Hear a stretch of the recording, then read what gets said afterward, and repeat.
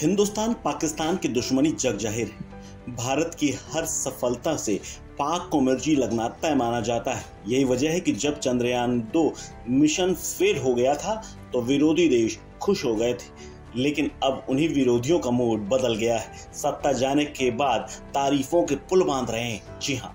भारत के moon mission Chandrayaan to का मज़ाक उड़ाने वाले पाकिस्तान के पूर्व मंत्री फवाद हुसैन चौधरी ने मून मिशन चंद्रयान तीन की जमकर प्रशंसा की है। ये वही फवाद चौधरी हैं जो इमरान सरकार में मंत्री हुआ करते थे, तब चंद्रयान का मज़ाक उड़ाया करते थे। लेकिन अब मंगलवार को मून मिशन चंद्रयान तीन की प्रशंसा करते हुए इसे मानव जाति के लिए ऐतिहासिक बता दिया है।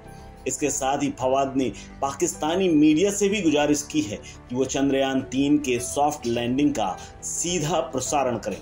ये दूसरा मौका है जब इमरान खान की सरकार ने विज्ञान और प्रौद्योगिकी मंत्री रह चुके फवाद चौधरी ने तारीफ़ की है। इससे पहले 14 जुलाई को भी जब इसरो ने अपना मून मिशन चंद्रयान तीन लॉन्च किया था, तब भी उन्होंने जमकर तारीफ़ की थी। पाकिस्तान के पूर्व विज्ञान एवं प्रौद्योगिकी मंत्री फवाद चौधरी ने एक्स यानी कि ट्विटर पर लिखा कि पाकिस्तानी मीडिया को कल शाम, यानी छह बजकर पंद्रह मिनट पर चंद्रयान तीन की चंद्रमा की लैंडिंग को लाइव दिखाना चाहिए। पूरा मानव जाति, खासकर भारत के लोगों, वैज्ञानिक और अंतरिक्ष समुदाय के लिए ये एक ऐतिहासिक क्षण है। बहुत बहुत बधाई हो। इससे पहले 14 जुलाई को भी उन्होंने इसरो के मून मिशन चंद्रयान तीन को लॉन्च करते वक्त तारीफ़ की थी। उस वक्त भी फवाद चौधरी ने लिखा था, चंद्रयान तीन के सफलतापूर्वक लॉन्चिंग के बाद उन्होंने कहा था, चंद्रयान तीन के सफलतापूर्वक लॉन्चिंग के लिए भारतीय अंतरिक्ष एवं विज्ञान समुदाय को बधाई और शुभकामनाएँ। हालाँकि इसरो ने मून मिशन चंद्रयान टू के दौरान पाकिस्तान के पूर्व मंत्री फवाद चौधरी जब सत्ता में थे, तब उन्होंने इसरो का मज़ाक उड़ाया था। 2019 में चंद्रयान टू के लिए 900 करोड़ रुपए का बजट का प्रावधान रखा गया था।